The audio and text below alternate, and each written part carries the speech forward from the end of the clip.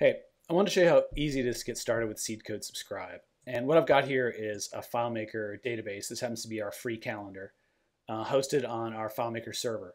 And while it looks like a calendar here, um, it's really just um, a simple table of dates and events. And what I want to do is get all this data to show up in iCal and then in Google Calendar and on the calendars on my iPhone and iPad. So to do that, I've downloaded uh, Seedcode Subscribe, which is, uh, here's the download right here. And I'm going to open up the Seedcode Subscribe setup file and show you how you can get this done without installing anything on your FileMaker server. You can use our demo server to kind of preview all this, and then you can buy a copy of Seedcode Subscribe, install it on your own server, and distribute your URLs so that folks can subscribe to your FileMaker data uh, in iCal. So first thing we want to do here is make a new calendar. So let's call this uh, uh, events in FileMaker. And hit save. You can see there are, you know, some calendars are already here that you can play with.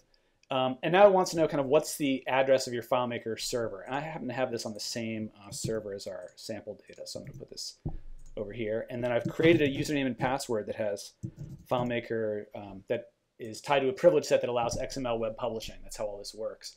Now, I often don't have passwords in some of these sample files, but iCal and a lot of these calendars, they want both a username and a password. And so after I put that in there, it's kind of validating everything. That's what this transfer HTTP is going on. Um, so you, you want to do make sure that you have both a username and a password because iCal doesn't like blank passwords. And then it says, hey, select from the list of open files. And Seedcode Calendar Free is both an open file and a file on this server with this username and password allowing XML web publishing. So you can see what these checks are. It's kind of checking your work as it goes. Um, so the Seedcode Subscribe engine is currently installed on the demo server. That's great. I'm going to use it there. Eventually, I'll turn this off and paste in my own path to where I've installed it. But for now, I'm just going to use the demo server. And then um, it wants to know what layout to use. And I'm going to use the layout we're looking at here, calendar source data because it's got the fields on it that I want to use in my calendar. And we see our little success message. So we're actually almost done. So now we just have to map the fields that you want to see in your calendar to um, what's going on in FileMaker. So for the title field, I'm going to click on this little arrow and pick the summary calc, which kind of concatenates all the stuff I want to see in the summary. And then for the timestamp start, I didn't have a timestamp and an, an end timestamp field. And so I had to add these. And they're just simple, like take the date and time and turn it into a timestamp. So I'm going to pick those here. And see it'll tell you just the fields that are actually timestamps. So if you don't see anything here, it's because that layout doesn't have any timestamp fields on it. So there's our start and here's our end. You can see it's checking our work as we go. And that and I'm not going to go any further. I'm not going to do, well, maybe for the description, I'll grab a notes field. I don't think I even, yeah, I don't even have a notes field here. So that's it. You can obviously put URLs and some other stuff. I'm going to pick a time zone. So let's pick USA. Whoop. Just click here, US Pacific, and a color. We'll just call it blue. All right, so that all checks out.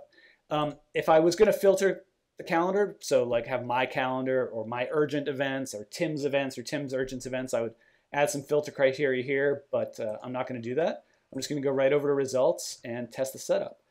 So it's going to connect to our file and see if it can bring down an iCal file, and it can. And you see here 157 events, and I have 157 uh, events up here.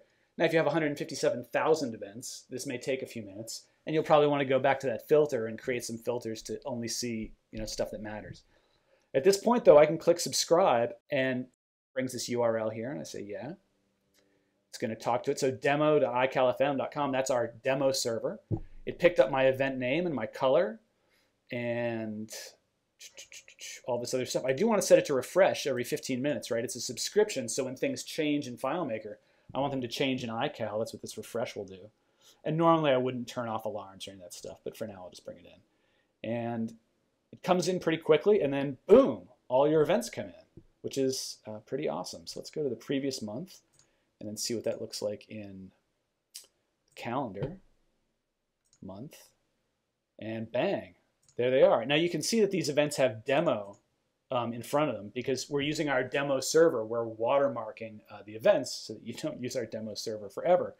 So now that I've got this URL working, I can come back here, purchase and install Seedcode Subscribe on my server, put the path to it right here, and then come over to sharing and share these URLs with my friends, email them, and um, they'll be able to add this to iCal or to their calendars in their iPhone and iPad.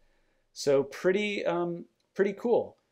Um, I think that's all I wanted to show you. So thanks. I hope you'll check it out. Oh, so I, I do want to show you that these these are kind of read-only. So here, let's look at this visit uh, BGP. So there's no edit button, right? It's a subscription. So users can't edit these events in iCal.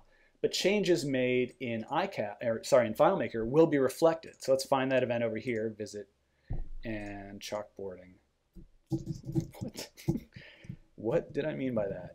Sometimes my sample data really confuses me. But anyways, there it is. So I add what, we click close and refresh here.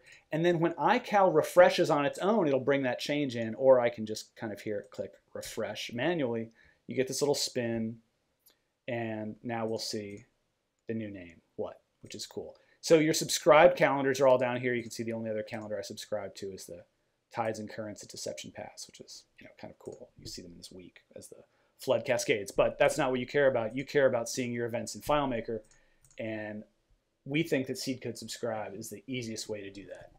Those URLs work in iCal, as you see here, Google Calendar, Office 365, and the calendars on iPhone and iPad. Have at it. Thanks.